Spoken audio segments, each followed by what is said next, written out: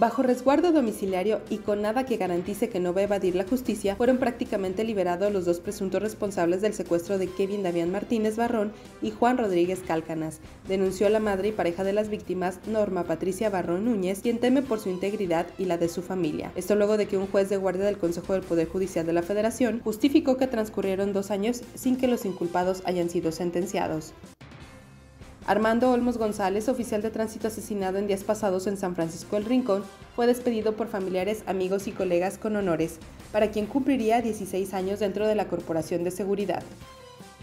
La atención médica para policías en Celaya requirió una reasignación de partida por 1.9 millones de pesos para darle solvencia y poder cumplir con los gastos hospitalarios, dado que no se dispone de un seguro. La síndica del ayuntamiento en Celaya expuso que la intención es disponer de un recurso base de 3.9 millones de pesos.